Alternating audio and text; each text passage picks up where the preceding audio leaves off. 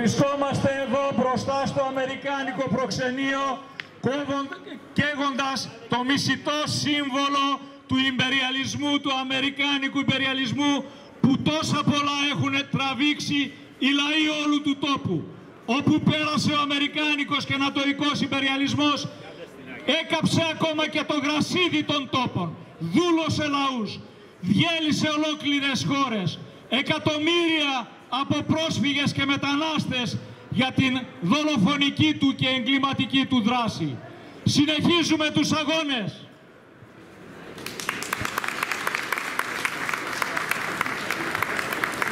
Ούτε γη ούτε νερό στους φωνιάδες των λαών.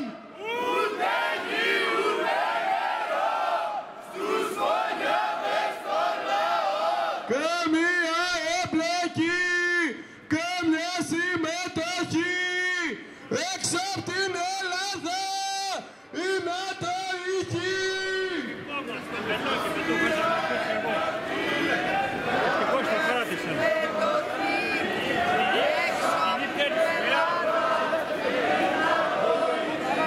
Όχι στους πολέμους των υπεριαλιστών.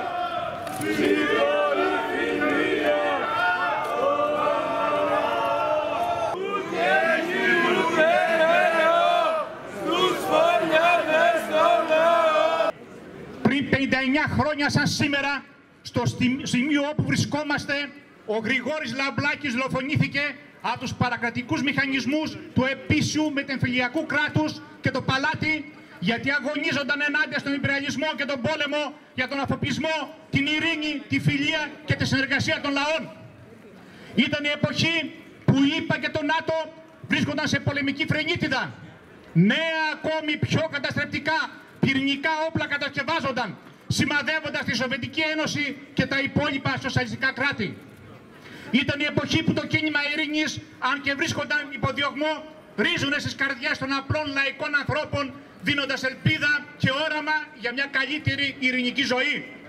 Ήταν η εποχή το που κράτος και παρακράτος στην Ελλάδα κυνηγούσε, φυλάκιζε, δολοφονούσε όπως είχε κάνει νωρίτερα και με τον Νίκο Νικοφο- Νικηφορίδη κάθε αγωνιστή που ύψωνε το ανάστημα και τη φωνή του απέναντι σε αυτή την βαρβαρότητα, βαρβαρότητα και τον κίνδυνο των πυρηνικών όπλων. Ο Γρηγόρης Λαμπράκης ως βουλευτής της πρωτεακτορικής ΕΔΑ αγωνίστηκε με συνέπεια και ανυπέρβλητο θάρρος ενάντια στην τότε τάξη πραγμάτων των υπερελιστών, ενάντια στις ξένες βάσεις και στην πρόθεση της χώρας μας στο άρμα του ΝΑΤΟ, τον ΙΠΑ και της τότε ΕΟΚ, ενάντια στο σύστημα που γεννά την εκμετάλλευση, τη φτώχεια, τους πολέμους, την καταστροφή, τον θάνατο και την προσφυγιά.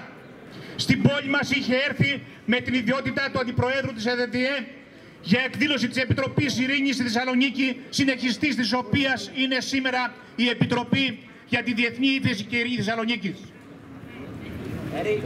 Το επίσημο κράτος οργίαζε. Οι μυστικές του υπηρεσίες και οι παρακατοικοί του μηχανισμοί των φασιστοειδών των συλλόγων του την είχαν στημένη. Αργότερα αποκαλύφθηκε ότι είχαν βάλει το δάχτυλό τους και ξένες υπηρεσίες. Έτσι σε αυτό το σημείο που βρισκόμαστε οι παρακρατικοί Κοτζαμάνης και Μανολιίδης με την πλήρη υποστήριξη της αστυνομίας χτύπησαν θανάσιμα το λαμπράκι που άφησε την τελευταία του πνοή πέντε μέρες αργότερα στο νοσοκομείο Αχέπα. Λίγη ώρα πριν είχαν χτυπήσει και τραυματίσει άλλον έναν βουλευτή της ΕΔΑ, τον Γιώργη Τσαρουχά, στέλεχος του ΚΚΕ, αγωνιστή της εαμικής αντίστασης στα χρόνια της κατοχής. Σήμερα, 59 χρόνια μετά τη δολοφονία του Γρηγόρη Λαμπράκη στην περιοχή μας, αλλά και διεθνώς οι ανταγωνισμοί μεταξύ των μεγάλων υπεραλιστικών δυνάμεων οξύνονται ολοένα και περισσότερο. Δεν είναι ο πρώτος πόλεμος στην Ευρώπη μετά την ανατροπή του σοσιαλισμού πριν από 30 χρόνια. Είχε προηγηθεί ο πόλεμος των ΗΠΑ, ΝΑΤΟ, Ευρωπαϊκής Ένωσης, Ιγκοσλαβία και η διάλυση και αυτής της χώρας. Σήμερα οι ρόλοι μπορεί να είναι αλλαγμένοι. Τα θύματα όμως είναι τα ίδια. Είναι οι λαοί που θυσιάζονται μονίμως για τα συμφέροντα και τα κέρδη των κεφαλαιοκρατών των μονοπωλίων. Πριν από 30 χρόνια, πολλοί ήταν αυτοί που χαιρέτησαν τις ανατροπές στη Σοβιετική Ένωση και την Ανατολική Ευρώπη, που έταζαν στους λαούς τάχα ένα νέο κόσμο χωρίς πολέμους, ανταγωνισμούς και αντιπαραθέσεις, που μετά την αυτοδιάλυση του Συμφώνου της Βαρσοβίας υπόσχονταν τη διάλυση και του ΝΑΤΟ. Όλους αυτούς τους διέψευσε τραγικά η ιστορία. Ο κόσμος χωρίς τη Σοβιετική Ένωση και τις χώρες του σαλισμού έγινε πολύ πιο άγριος, πολύ πιο βάρβαρος. Σήμερα ξανά διεξάγονται μικροί και μεγαλύτεροι πόλεμοι σε όλη την Εδρόγειο. Οι λαοί όμως δεν έχουν το στήριγμά τους στη Σοβιετική Ένωση και τις χώρες του σαλισμού. Η απειλή των πυρηνικών είναι ξανά στην πρώτη γραμμή. Οι εξοπλισμοί αυξάνονται με ηλικιώδη ρυθμό, νέα φωνικότερα όπλα σφυρλατούνται στα εργαστήρια του πολέμου. Όλα αυτά για τα οποία θυσιάστηκαν ο Νίκος Νικηφορίδης, ο Γρηγόρης Λαμπράκης, χιλιάδες και χιλιάδες αγωνιστές του λαού μας ανεκπλήρωτα. Η ΕΔΔΕ στα 67 χρόνια της δράσης ποτέ δεν έκανε πίσω. Ποτέ δεν έχασε τον μπούσουλά της.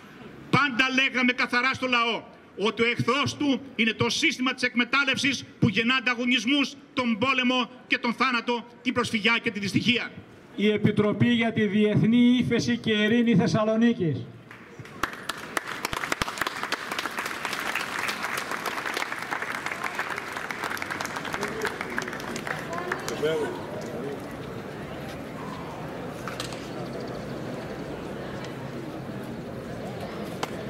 Στεφάνη καταθέτει η ΠΑΕΑ Δημοκρατικός Στρατός Ελλάδας.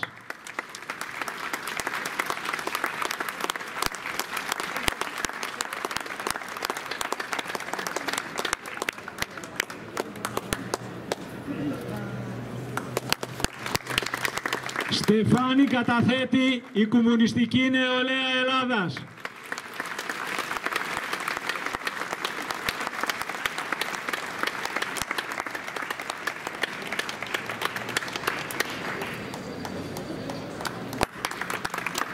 Στεφάνη καταθέτει το Κομμουνιστικό Κόμμα Ελλάδας.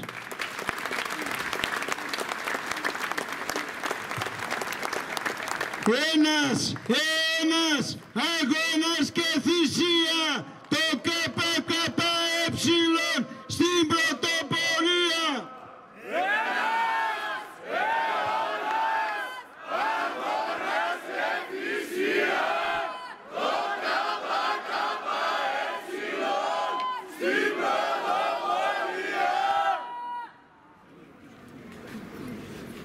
Κρατάμε ενός λεπτού σιγή.